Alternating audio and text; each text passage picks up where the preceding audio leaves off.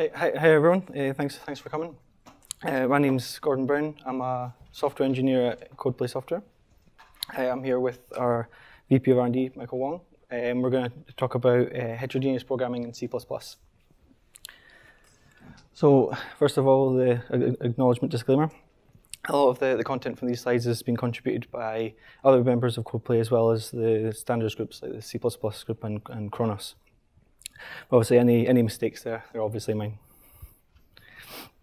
And uh, obviously, legal disclaimer that um, these are these are the views of myself, not necessarily of, CodePlay in general. So, so who who are who are we? Who, who are CodePlay? So, CodePlay are primarily involved in developing solutions for heterogeneous systems. We're, we're involved in, in many different standards bodies, including Khronos, HSA, and, and C++. We're, we're also, recently, we've also, also been involved in uh, standards for safety critical applications, such as like ISO 26262 and ADAS. We also have uh, sort of a suite of uh, for for developing uh, heterogeneous solutions called Compute Suite. So this has Compute Aorta, which is our sort of core technology, which targets a, a wide range of, of different heterogeneous systems and can support uh, many different standards. And we have Compute CPP, which is our implementation of the, the SYCL standard, which I'm going to talk about, about later on in the talk. So, so, so first of all, why am I here talking to you today? So, as of the, the C++ standards meeting in uh, Jacksonville, February this year, we, we now have a, a, mandate to bring heterogeneous computing to C++. So what is heterogeneous computing? So heterogeneous computing involves gaining performance through the utilization of systems which make use of more than one kind of processor, each with specialized processing capabilities to handle particular tasks. so it's all about gaining parallelism over putting tasks on hardware that's, that's designed specifically for it.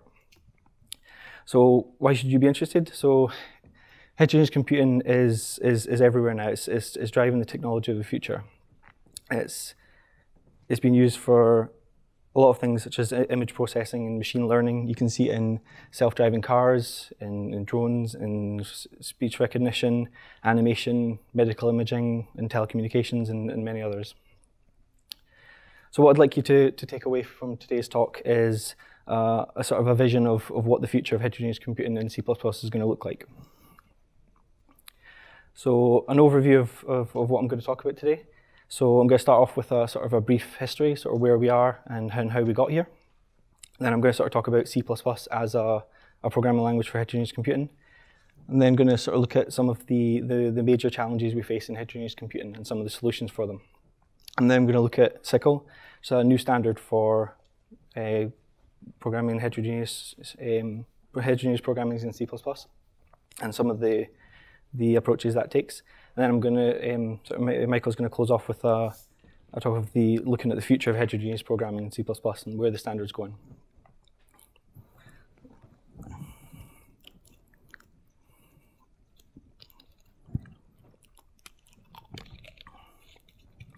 So to start off with how, how we got here. So back in, in, in around 1989, we were at this, this point called sort of, you could sort of Uh, you can refer to as the, the single core era. So this was a point where we were, we were gaining steady performance gains in, in CPUs based on, on Moore's law. This principle that if, so if every year the, the CPUs would have more and more transistors, which would give a steady performance gains. This is often referred to as the, the free lunch. The, the earliest sign of heterogeneous computing was, was back in 2001 with the, the introduction of the first sort of user programmable shaders allowing you to do general purpose compute on, on GPUs.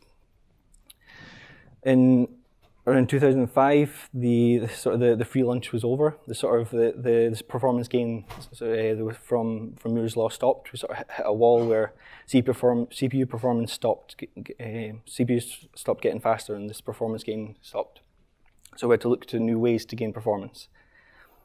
Shortly after this, uh, Intel announced their, their first range of dual-core CPUs, so CPUs that would, would gain performance through having multiple cores on, on the same chip that would run in parallel. And around, around 2007, it's, it's quite hard to have, a, have an exact time for this, but there's, there's a point where it became evident that the performance gains from adding adding multiple cores to a CPU, adding more cores, wasn't giving us the same performance gains as we did with Moore's law. And although there are some applications that take that uh, take advantage of of having more cores, and there's, there's architectures that have a, a, a large number of cores, the, generally the uh, four cores was the optimum amount, and beyond that, we were starting to see sort of diminishing returns. Shortly after this, uh, CUDA was released, so initially a, a, C, C API for offloading code to NVIDIA GPUs. And then 2008, we had OpenCL, which was very, very similar, but it was open to CPUs and GPUs, and it was, wasn't restricted to just NVIDIA. This was an open standard. And then in 2009, DirectX 11 was released with Direct Compute. So this was shaders that could do general purpose computations. This is, this is generally used for, for gaming. In 2011, AMD announced the first range of their APUs. So these were devices where rather than having a CPU and a discrete GPU, you would have uh, the CPU and the GPU on the same board with shared memory. So this changed the way that you'd have to program them. Later in 2011, uh, OpenACC was released. So OpenACC was originally branched off from OpenMP in order to support offloading to accelerators. So at the time, OpenMP only supported uh, multi-core CPU parallelism. And then in, in 2010, uh, Altera announced OpenCL support for their FPGAs. In 2013, OpenMP also announced its support for offloading to accelerators. 2015, Texas Instruments announced support OpenCL support for their DSPs. And then in 2016, quite recently, H the HSA standard was ratified. So HSA standard is, is, is quite similar to OpenCL, it's, it's a lot more lower level.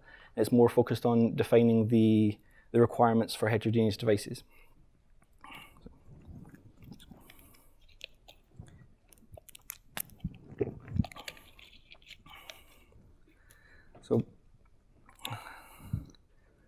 So, so the question. So, what what is the most popular language for for heterogeneous computing? And uh, so, I, I, I, tried to answer this question. Um, so, to do this, sort of, my, uh, myself and some some colleagues came up with a list of heterogeneous programming languages and models. And uh, so the sort of the criteria for this would be any any language or, or model is a, like a language in itself is not a, a, wrapper over another language, and it would have to support more um, heterogeneous devices, not just multi-core CPUs.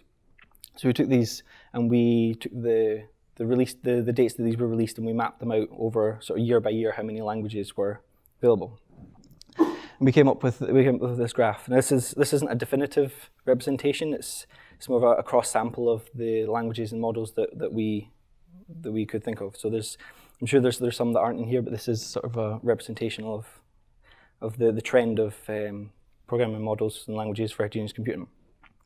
And the thing we see here is that from around 2003 onwards, there's been a steady gain in, in programming languages for heterogeneous computing, particularly in, in C and C++ this is this is another slide with you with the same data. The thing we see here is that even as far back as 1999, the C and C++ were the, the dominant languages for heterogeneous computing. So for a long time, C was the, the most dominant language. However, in recent years, C++ has rapidly overtaken it. The other thing to notice is that in the last few years, while C++ has been so rap- sort of overtaking the other languages, the other languages have become sort of plateaued and they've, they've not been increasing as much. So the next thing I'd like to do is, is look at some of the, the, sort of the major challenges we face in heterogeneous computing. And so these are the, the sort of the four four major challenges I want to focus on. There there are other other things that are uh, important for heterogeneous computing, but these are the ones that I want to focus on. Uh, so first of all, performance portability. So when we think of performance portability, we think um, sort of writing code once and then running it everywhere. So is performance portability across heterogeneous devices really possible? And the answer is it, it depends on how you look at it. So the heterogeneous landscape has a, a, wide range of different devices now. There's, there's accelerators, CPUs, GPUs, DSPs, APUs, FPGAs, and there's many others. And so to, to look at some of these a little closer, so a, a typical CPU architecture you have uh, so you have a small a small number of cores that are running separate instructions on each each core independently. and it's, it's low bandwidth memory, ran random access, and then you have, this is generally suggested for task parallelism. And then if you look at a, a typical GPU architecture, this is a, so you have a large number of, of, of execution units with a single instruction running on a, a, number of execution units, and this is, this is generally in lockstep.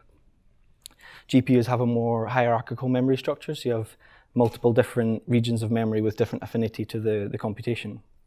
And then you have the GPUs have a, a higher bandwidth, bandwidth memory and they have a more predictable memory. So, uh, and then and these and GPUs are generally suggested for data parallelism. If we look at FPGAs, a typical FPGA architectures, and FPGAs are very different from, from CPUs or GPUs. The, the, main, the main difference is that whereas with a CPU or GPU, you'd copy your code over to the device in order to, to execute it. But FPGAs are, are reprogrammable at runtime. So the, the code that you execute is actually synthesized onto the, the hardware itself. And this is done through having these configurable logic blocks that are used for both memory and computation. And these are connected through configurable routings that provide different levels of bandwidth. And FPGAs are very low power consumption. And they have a, a sort of a, a, stream execution model where rather than running a, a function function once, you have something that's run continuously with, with data streaming in and out. Uh, DSP as well. So D DSPs are, are also very different from a, a CPU or a GPU. Uh, these are these are very sort of purpose-built compute engines for performing things like add, subtract, divide, multiply very, very quickly.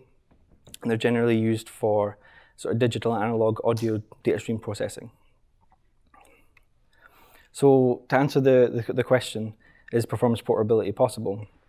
The, the short answer is, is no. Architectures by, by design are, are so different that there is no one solution fits all in reality, you have uh, you have to find a, a, balance between performance, portability, and productivity. Sort of performance being the, the scalability and efficiency of your your application, portability being the the range of hardware that you, your application can target, and productivity being the the range of tasks your application can perform. So generally, if you have if you have performance and portability, if you are able to achieve sort of a, a good amount of performance portability, this usually comes at the cost of productivity. So, so the, the long answer to this question is performance portability possible? It, the answer is yes. The, the, with the right programming model, you can write, you can represent your problem in a way which can adapt to different execution models and different memory models of different kind of uh, heterogeneous devices.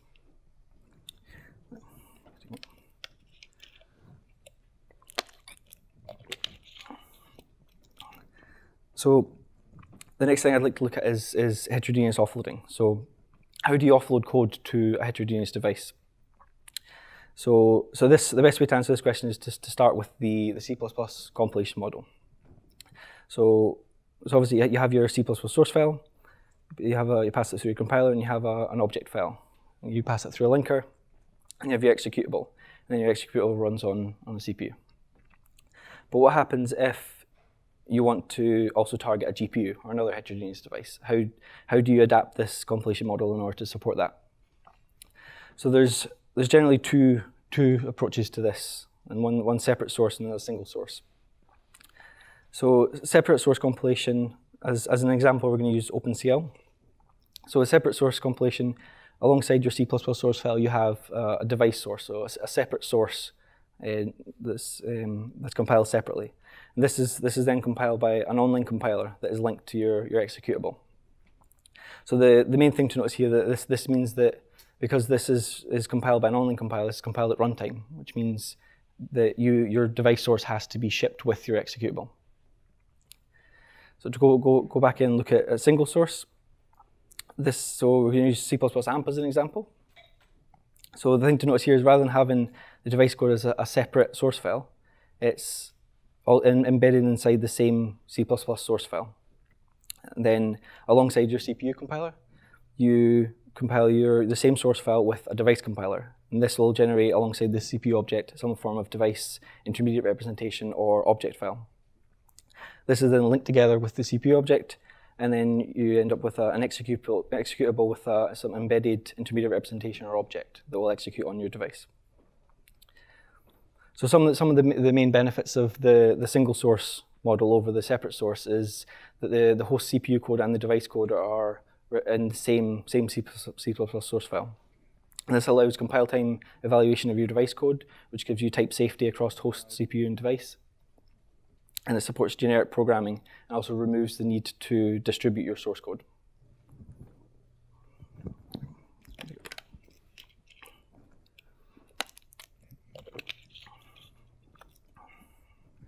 So the next next thing I want to look at is, is how to describe parallelism. So there's many different forms of parallelism. There's, there's different ways of, of describing it in your in your source code. So these are the, the, the three things we'll look at. So the first is directive versus explicit parallelism. So on, on the left here we have an example of directive parallelism with OpenMP.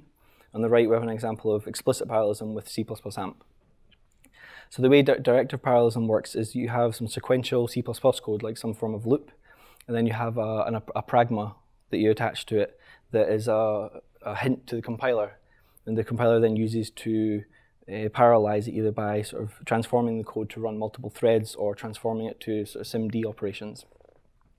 Whereas with the explicit parallelism, you have some form of API where you, you define a function and then a, a range of execution, and then that's this function is executed on the hardware across for that number of, of executions. So next we'll look at task parallelism versus data parallelism. So on the left we have an example of task parallelism with TBB. On the right we have an example of data parallelism with CUDA. So task parallelism is where you have multiple potentially different tasks that are running in, in parallel. And with the data parallelism, you have the same task being performed across a large data set in parallel. So next, next there's queue, queue execution versus stream execution. So on the left, we have an example of queue execution with CUDA. On the right, we have an example of stream execution with Brook GPU. So with queue execution, you have a function that's placed on a queue, and then that's executed, and then that returns. Whereas with stream execution, your function is executed in a continuous loop with data streaming in and out of it. So finally, the last thing I want to look at is data locality and movement. So one of the biggest limiting factors in heterogeneous computing is the, the cost of, of data movement in both time and power consumption. So it can, it can be, could take a considerable amount of time to, to move the data from a host CPU to a heterogeneous device that you want to execute on. This, this depends on the architecture. The, the bandwidth of a device can also impose bottlenecks which can affect the throughput of your device as well. Additionally, it's, it's very important to ensure that the performance gain you achieve from performing the computation on the heterogeneous device as opposed to the host CPU is, is larger than the cost of moving the data to the device. Otherwise, it's not, it's not worth the performing on the device. The other thing to consider is that many devices, such as GPUs, have a hierarchy of different memory regions. And each of these regions has a different memory size, affinity, and, and access latency. So, for example, global data is generally DDR and has a sort of a very large amount of data but has a, a, a, sort of a low affinity, so a very high access latency. Whereas private memory is generally sort of registers or on, on, on chip static RAM, where you have um, sort of a, a, much smaller size, but has a much higher affinity to the computation, so a much lower la access latency. So knowing having your data as close to the computation as possible can, can largely reduce the, the cost of the data movement. So look, looking at the cost of data movement in, in terms of power consumption. So this is a, a slide taken from a, a, talk by Bill Dally in 2010 from NVIDIA. And this is, this is the measuring the cost of performing computations, uh, arithmetic computations and moving data on an NVIDIA GPU. So the thing to notice here is that in the top left corner you have a 64-bit double precision operation. That's costing 20 picojoules. And then just below that, there's the the blue dot is a a, a read of four 64-bit um, operands for that operation. And that costs 50 picojoules. Then, so if, if you were to move these four 64-bit operands one millimeter across the chip, that would cost you 26 picojoules. However, if you were to move it across the entire chip, that would cost you a nanojoule. And then if you were to move it off onto DRAM, that's 16 nanojoules. So the, the, the cost in, in um, in power consumption from moving the data can can can have a dramatic impact on the performance of the of, your, of executing on the device. So so this is sort of how do you how do you move data from the host CPU to a device? So there's there's a couple of different ways of doing it. There's explicit data movement and implicit data movement. So on the left is an example of implicit data movement with C++ AMP. On the right is an example of explicit data movement with CUDA. So implicit data movement works by having data structures that are cross host CPU and device that can be used. So on this, this is this is has to be used with a single source programming model. So you have a single structure that you use on both the host and the device code, and then this is this implicitly handles the data movement for you. Whereas with explicit data movement, you have these explicit API calls that you have to explicitly pass pointers and say, I want to move this data over to the device. So the other thing is how, how, do you, how do you address memory across the whole CPU and the device?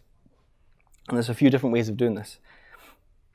So in comparison, there's first of all, there's, there's the multi-address space model where pointers have attributes or structures which specify where, what sort of memory region that data should be stored. This allows finer control over where your memory is allocated or, or moved to, but it does mean you have to define it explicitly. And there's non-coherent single address space. This, this works by you have pointers that address the, a shared address space across the host CPU and the device. And they do this by having map operations uh, APIs which allow you to, so say you're accessing a pointer on the host, you then have a, an API which says I want to map this data across to the device. And then you could use the same pointer to access the same address in on the device. And whereas with cache coherent single address space, this is similar to the, the non-coherent single address space. The difference is this is the, the, you when you address a pointer on the host and device, you're generally either addressing the same physical memory in hardware or you're accessing a, a cache coherent runtime which does, performs a synchronization at the cache level. So this allows you to access the host CPU and the, uh, the same pointers on the host CPU and the device uh, concurrently. However, you are giving up a lot of control over when the data is moved. So, so this can be inefficient in some cases.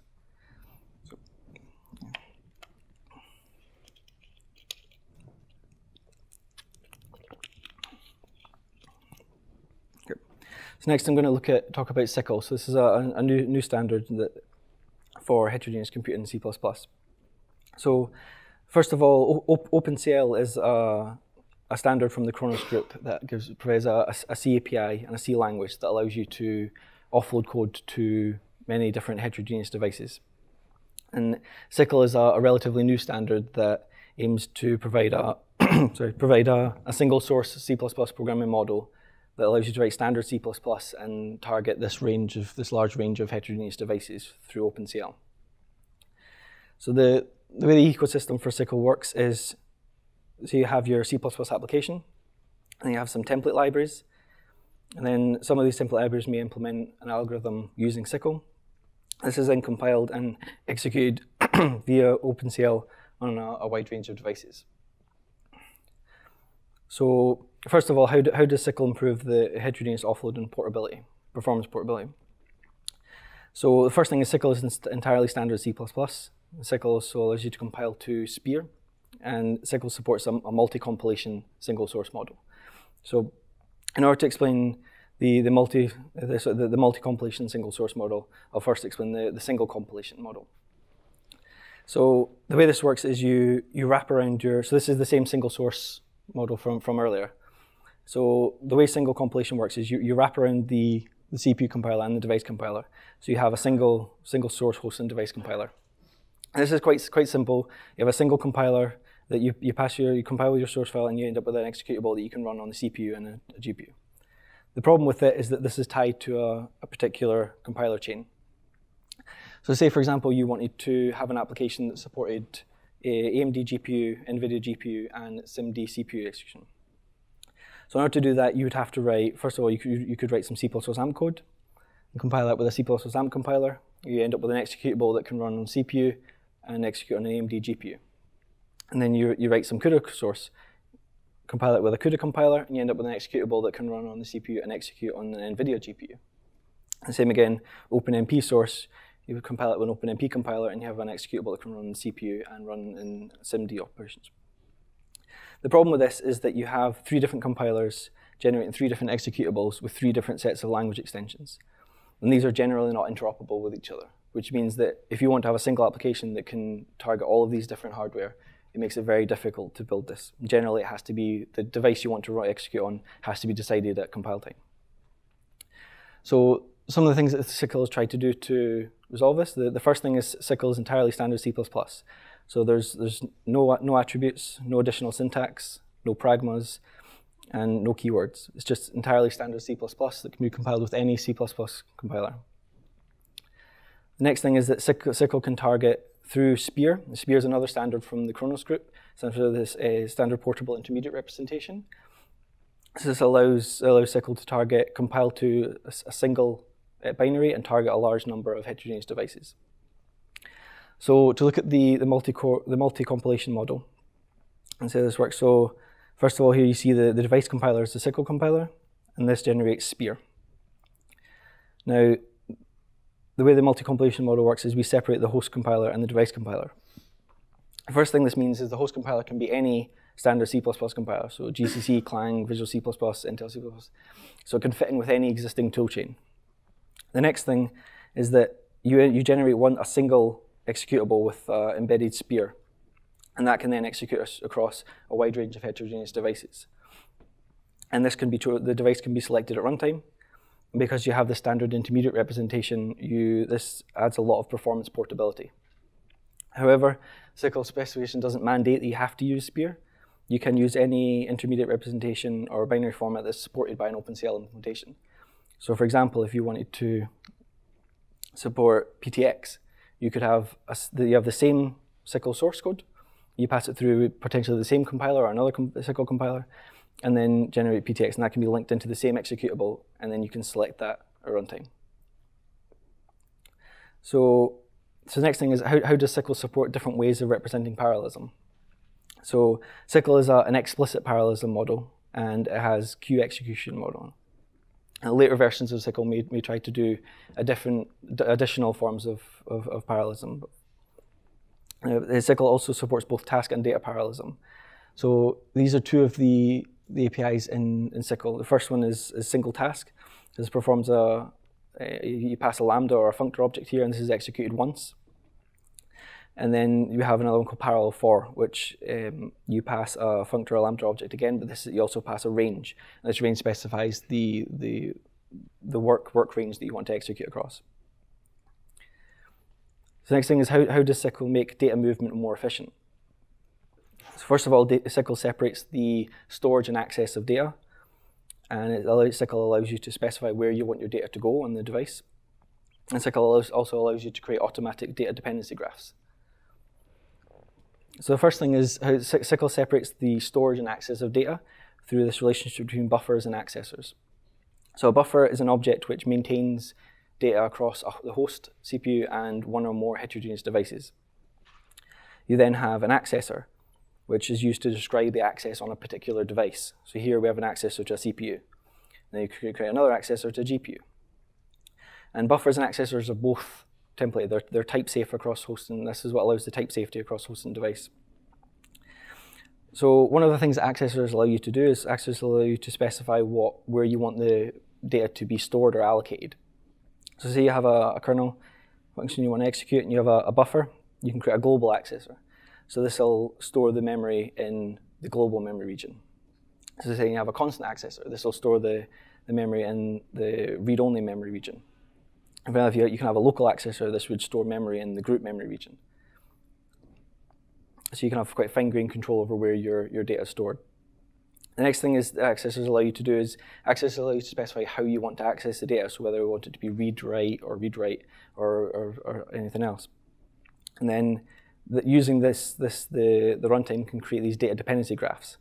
So as an example of this, if say you have four buffers and three kernels, so the kernel A reads from buffer A and writes to buffer B, kernel B reads from buffer A, writes to buffer C, and then kernel C reads from buffer B and C, reads, writes back to D. So the runtime is able to automatically determine that kernel A and kernel B can run in parallel because there's no dependencies there.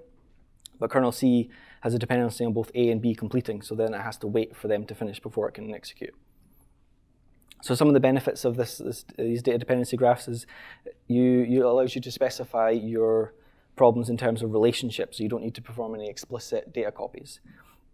Also removes the need for complex event handling between um, uh, executions because it's automatically constructed via the accessors. Finally, it allows the runtime to perform data movement optimization, so it can preemptively copy data to a device where you're going to need it, it can avoid unnecessarily copying the data back to the host if you need to use it again on that same device later. And it can avoid copies to and from the device if you don't if you're not interested in the original values of the, the data. So to finish off, what, what, do, what does SYCL look like? So I'm going to go through a, a simple example of, of, of a SYCL application. So we're going to uh, try to implement a, a parallel add function that takes two input vectors and an output vector. So the first thing we need to do is include the header file. So this includes the, the entire runtime API. So the first thing, first thing we have to do in the function is create bu the buffers. So buffers handle, um, maintain a pointer across a host and multiple devices. It also performs synchronization. So using RAII, when buffers are destroyed, it synchronizes the data back to the host. So the the buffer's lifetime is this function, so when the buffers are destroyed at the end of this function, it will synchronize the data back to the vectors that you passed in. So the, the next thing you do is create a queue. So you need a queue for, for executing work. And from the queue, you can create what's called a, a command group. So a command group defines the device code you want to execute, as well as the data dependencies that you need for that, that, uh, that function. So the first, the first thing you do inside the command group is you create these accessors. So we'll create three accessors for the three buffers. The Two, two input, input buffers have, have read access, and the output buffer has is write access. Then you use the parallel for that we saw earlier in order to create a device function. So this takes two, two parameters. This is first the range to describe the, the range of execution you want to do. So here we take the size of the, the vector in order to determine the number of work items you want to execute. And the second parameter is, is a lambda function describing the, the, the device code. So the, the lambda, this lambda is the, the code that's compiled by the SYCL device compiler in order to execute on, it's what's executed on the, on the device. So this takes a parameter as well, it takes an ID. So for each execution of this function on the device, the ID represents that space in the, in the, the range of execution. So the one thing to notice here is that the parallel for takes a, a template parameter. And the reason for this is that because SYCL has this, uh, supports any standard C++ host compiler and any device compiler and inter interoperation between them, the, there's no standard way in C++ to name lambdas. So every, every C++ compiler has a different way of naming lambdas. So we need a way for the host compiler and the device compilers to be able to communicate regarding the the device function. So we, we add this template parameter in order to name the device. So this, this kernel T here gives names this, um, this function. So finally, we add the, the body of the, the function. So we use the subscript operator of the accessors to read from the input pointers, add them together, and assign it to the output pointer. And that's it. And then finally, you, you initialize your, your vectors, and then you call the parallel add. And because the buffer synchronizes the data when this function returns, you have your result in output and that's done. So how are we looking for time? 35 minutes? So, so now I'm going to pass over to Michael to talk about the future of C++.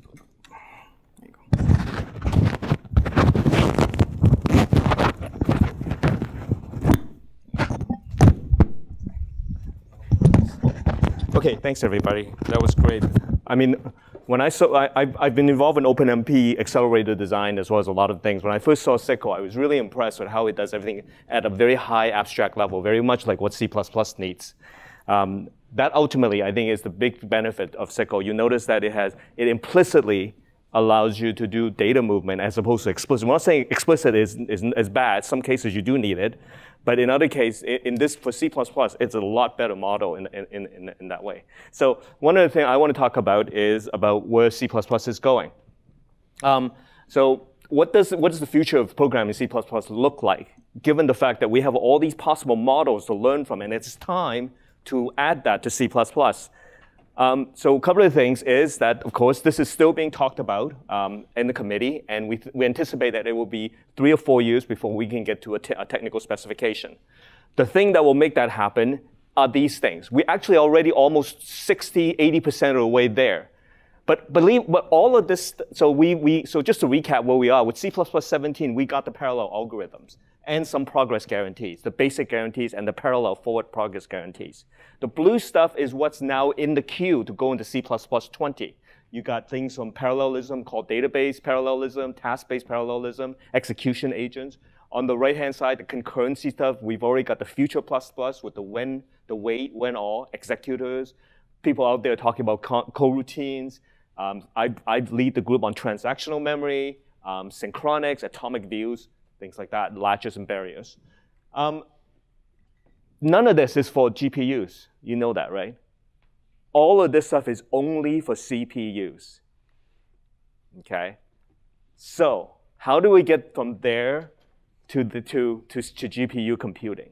Indeed, we have a mountain to climb, but it's actually not as bad as, as, as it seems.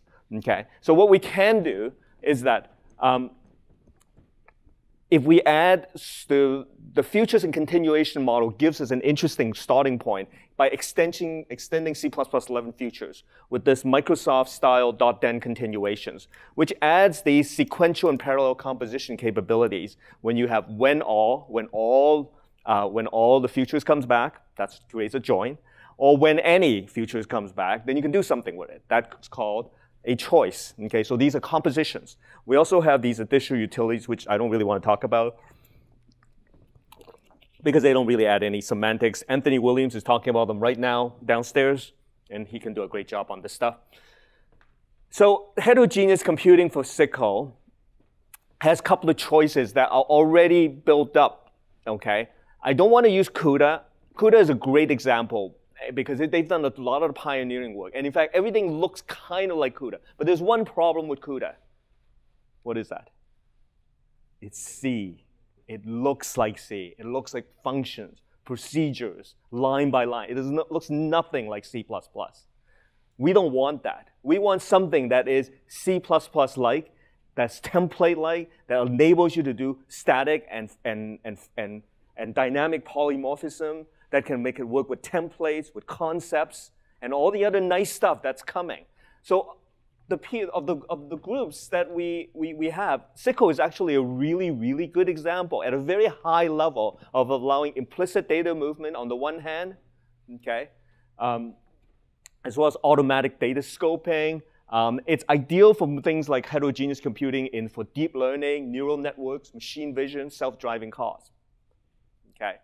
But we also can't ignore the distributed computing aspect that's offered by LSU's Hartmut's talk on using HPX. They do a terrific job as well too um, of doing this in a very, very C plus in a very C plus plus way. But they, they do they use an explicit memory movement dir directives.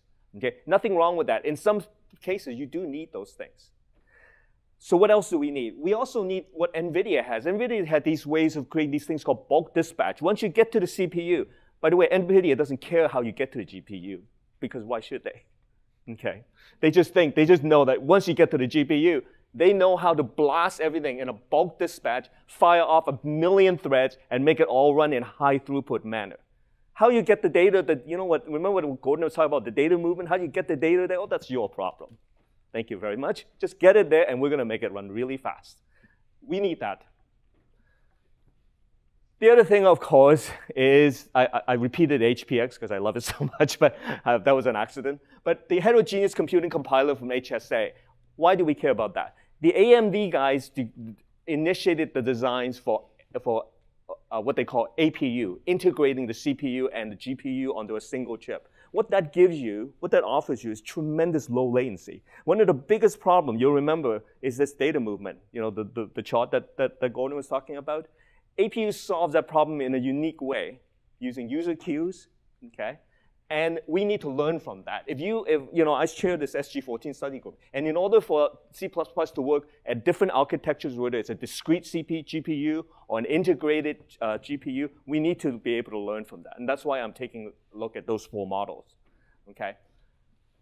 Ultimately, what's going to come out is that we're going to be able to hopefully support massive parallelism on multiple distributed nodes with CPU or GPUs. Um, and there's been head starts in games and graphics. I won't go over to this too much because this is essentially about where the, where, how it all came or, or it can't come from. But what I do want to talk about is how we're going to get there. In order to get to GPU computing, we need executors. Executors are these unique creatures are essentially to function execution what allocators are to memory allocation. They're also what iterators are to STL. They marry, iterators marry between containers and algorithms. Executors marry between the constructs of parallelism, like for loops, parallel regions, with the resources that you're going to use to execute that. Maybe they might be a GPU node here, an OpenMP cluster, okay, a bunch of threads, a thread pool. If you don't have executors, you're going to have what's called an end-to-end relationship, where you're going to have, you know, every for each will have to have something that says this for each is used, is used to access a thread pool. Then you have another for each for OpenMP runtime. Then you have async for fibers. You don't really want a world where you have that end-to-end between the control structures and the diverse execution resource. If it can all go through an executor, the executor can effectively select the execution resource based on you, your, your, your policy parameters. You can now select where to run this stuff, when to run it, and how to run it. Okay? The how is already supplied essentially by the control, control architectures. C++ now already have quite a few hows. We can do async, we can do package tasks, we can do basic threads, we can do futures, we can do a couple of other things. Okay? But right now, C++ has none of the concepts at the bottom. We don't have thread pools. We don't have ideas about CPU, GPU. We only know about CPUs. All right. So there are several computing, uh, uh, competing proposals, and they've been running around each other for the last three years. We last this last summer we started talking to them and making sure we've been having uh, you know almost biweekly telecon calls, and we're making really good progress. And right now, this is what it's coming down to looking like. It's going to look like a minimal proposal that supports this kind of chart hierarchy, where it's a foundation for later proposals for heterogeneous computing. This is an early glimpse of some of the work we're doing. We're going to submit a, a paper for Issaquah for this. So I don't want to go too deeply, but you'll notice that in this diagram, you essentially have an executor which has one or more of execution functions that would create lightweight execution agents, which then executes execution, these instruction streams. On the other hand, at the very top, you have these contexts, which runs these execution agents, and these contexts would manage these execution resources, aka like a thread pool, and the and they would um, have execute them on instances of execution platforms. I just said all that. Sorry. Um, just a quick recap. I'm got about 10 minutes left now. Essentially, there is also SIMD parallelism that's required. One of the key markers of GPU computing is that it's, it's almost all, a lot of it is SIMD in nature. You can't do it without it. So that was the other component that was missing. Okay? Without it, we're not going to go anywhere. We don't have a standard for SIMD computing. There's Boost SIMD, Every vendor has invented um, some sort of SIMD capabilities, but everybody programs it using built-in languages, built-in uh, function calls that's supplied by the vendor. It's terrible. Every, you know, you, you, you switch from SSE to, to AVX or to IBM's, I can't remember what they are, even though I used to work for them. Um, you know, uh, you would have to rewrite your, all, all your code. We love doing this sort of stuff. Um, so there's been two proposals. Against here, there's a competition. There's been two proposals put out. One is based on Boost SIMD. Joel Falcou, I think, is going to talk about, or has already talked about. It's by somebody named Matthias Gaunard. Okay? And then a competing proposal came out based on the Vc library, also by someone whose name is very similar to Matthias. In this case, Matthias Kretz. Okay? so it gets very confusing to say whose proposal this is. It's, it's Matthias's proposal. Okay. And what it is, is now we're settling to the point that it's going to look like something like this. It's going to be a datapar that has a that holds um, elements n elements of type T that's written particularly for SIMD reg register. Okay. Now this morning a gentleman asked me, what if I have a different ABI? Well, there is an ABI, there's a defaulted ABI here assumed, but you can there's an ABI parameter that you can add in if you have a different ABI. And this is really important because you know, th th this is a fundamental thing with SIMD. I'm not going to go too deeply into this. There are built-in operators. There's no promotions. But some of this stuff you can get from the slides. I do want to get to the final thing. This is that with this, we're going to be able to have the ability to, with the minimal proposals for executors, we're going to be able to get to a space with SIMD to a point where we can eventually um, um, get to this, this, this space. Now, we do have to do other things. We have to do the things that Gordon talked about. How do, what do we do about the address space? Uh, C++ assumes a single address space, single flat address space. We have to either do move to some sort of either multiple address space that's either cache coherent or cache non-coherent. We have to make decisions as to whether we should um, support either implicit data movement or explicit data movement. I kind of think we need both. We have to get to a few other uh, um, stage about should we support legacy GPU devices, discrete or, or, or, or just integrated. We probably need, need almost all of them to some extent because we don't know whether we're doing it on an FPGA, okay, or just a pure accelerator. So there are a couple of things. But ultimately, I want to take the thing I want to take you, you guys want to take away from this is that heterogeneous computing has been coming for a long time.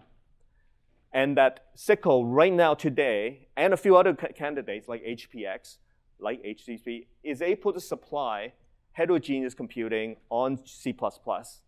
Okay, but depending on the, on the, on the, the type of devices, um, they might, the, the level of support might vary. And finally, that we're also trying to add this to the C++ standard. Okay? And that's pretty much closes the talk. And I think the only thing that I want to mention, of course, is that now we just, last week, uh, the company has been working, the CodePlay company has been working really hard at releasing ComputeCpp as a community edition, which is now free for download. And you can just go to this address. It essentially is an open source SYCL project that has the ComputeCpp SDK, which is a collection of sample code and integration tools. It also is the, one of the only, one of the few implementations of parallel STL, the thing that's already in C++ 17. Okay, and it's a SYCL-based implementation. And The difference is that it actually works on this GPU. These, these, these, these parallel STL routine runs on the runs on the GPU, not just on the CPU. It can also run on the CPU as well too. Most implementation would only run on the CPU because that's all the standard actually mandates.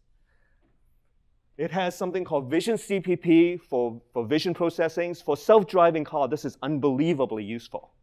Okay? It's the basis of why things crash and why they don't crash. Okay? And because we're using C++ algorithms to process images at a high enough speed such that they can be responsive enough for safety critical demands. You know, if your brake fails, you have to have that light show up on your dashboard within less than five nanos, uh, milliseconds. Okay, otherwise you're not, you're not safe. The other thing, of course, is the Eigen C++ library, something that is that allows. So this is all this is demonstrating what you can do with SYCL. You can build on top of SYCL such that you can um, execute it for deep learning neural networks. Why is this important? If you haven't heard about what's going on in the, in the, in the world now, almost everything you're using right now uses some sort of deep learning. When you do a Google translation, it's doing some sort of deep learning, going back to the central server and re responding to you. When you're doing image recognition, that is all C++ deep learning using something called TensorFlow. And you can now potentially do, and in my future talks, I'm going to talk a lot more about what these things can do. And that's the potential that we can get to in this future world that we're envisioning right now. So hopefully you guys can join us and download some of this, some, some of this stuff. Um, our team is ready to support um, the SYCL. But in the meantime, my job isn't necessarily to toot my company's horn, but is to try to bring this stuff to the standard.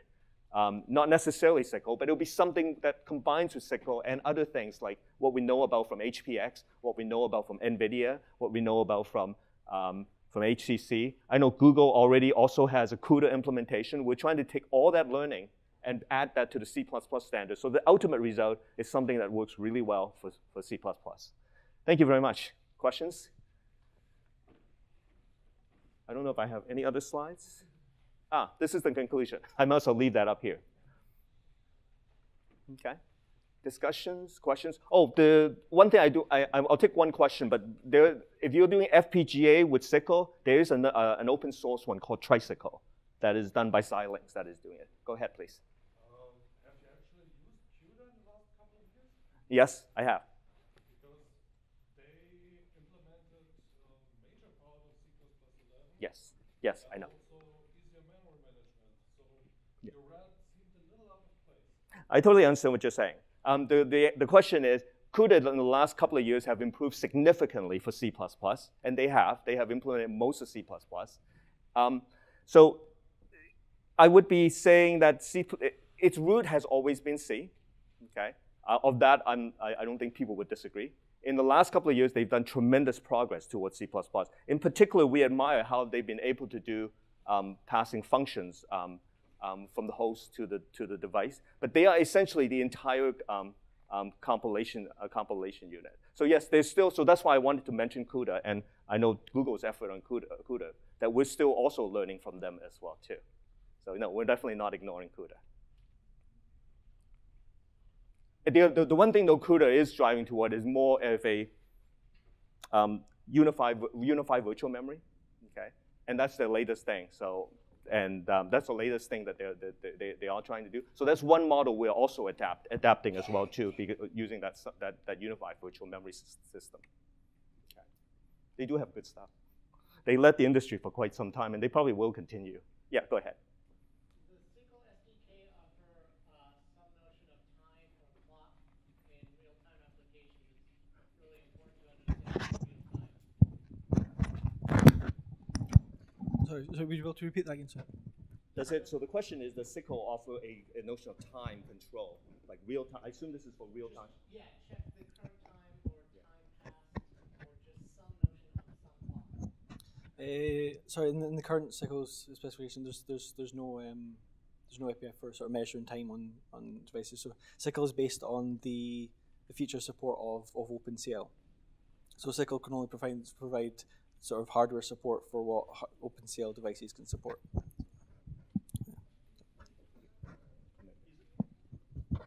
there a way to implement device-specific functions in SYCL? Like, for instance, if I want to have optimized function for particular GPU variant and particular PGA and particular DSP, is it possible to provide such specialization within the SYCL? So the, so the question is, can you provide sort of device specializations of, of certain functions? Yeah, so that, that, is, that is possible in SYCL. Yeah, there's there's um so there's macros that you can use to say I, I want this this code to be defined only for the GPU, uh, only for the, the device. Right, so you, you can specialize host host side or device side code. Uh, question here.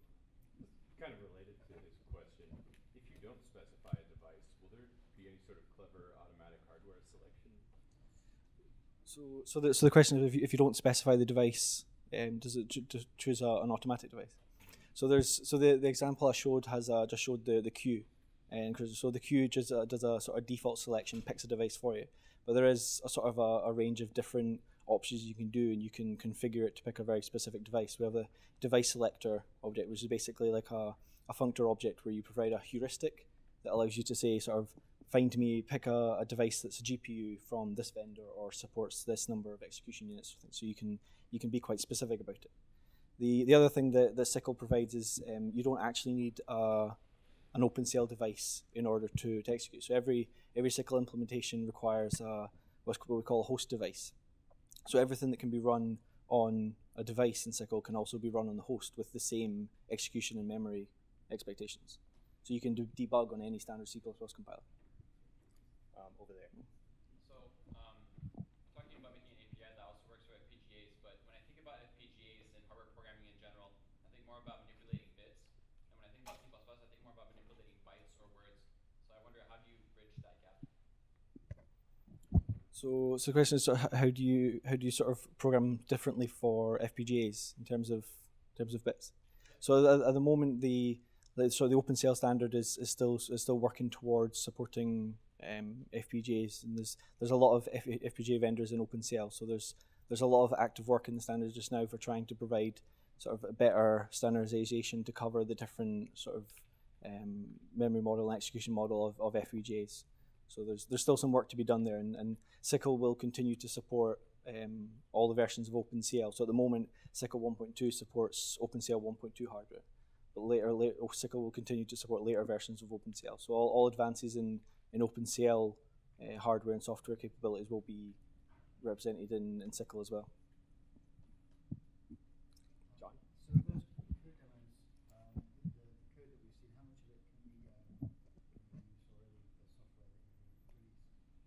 So, so, so the question was so the, the example that I showed at, at the end. So, so that, that, that, that was that was so that example you could you could do yourself if you if you if you downloaded ComputeCpp. So that, that, that, that would work work now with the, the current version of ComputeCpp. So at the moment, Compute Uh, question? Sorry. Oh, sorry. Yeah. So the question is: there any particular? Uh, so what what target what platforms do we support? At the moment, ComputeCpp, the Community Edition supports uh, Ubuntu 14.04 and CentOS operating systems, and we support Intel CPU and AMD GPU. So we've tested with a certain number of different uh, OpenCL drivers, but the if when you download when you download the uh, ComputeCpp, the integration guide and uh, will will give you sort of specifics of what drivers are supported. Okay, I think that's the final question. Um, okay, I think that's it. Thank you very much, everybody. Thanks.